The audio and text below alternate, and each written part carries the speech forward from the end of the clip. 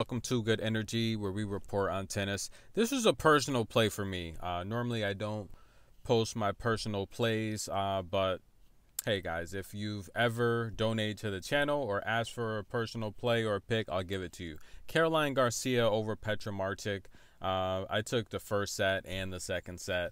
Uh, the reality here is if you watched the match yesterday that Martic played against Kalinina, she looked horrible very horrible. Petra Martic, and she's normally a decent hard court player. Uh, she's versatile. She can play grass or clay, but she's a much better hard court player.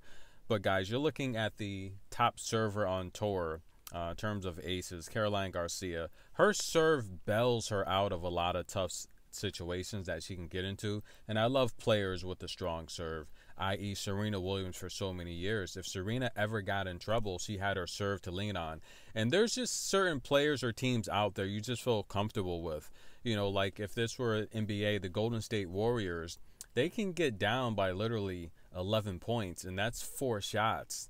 And they're they're they're winning again. That's four possessions. You know, between Klay Thompson and um, you know, Steph Curry. So there's certain players in tennis where if they have a strong serve, you like them. And right now that's Caroline Garcia. Her serve bells her out of trouble. But nonetheless, Caroline Garcia is through Petra Martic, Team Vegan. Yes, we are, but she doesn't look good. Uh, Caroline Garcia gets the victory, and hopefully Martic can turn things around for the U.S. Open.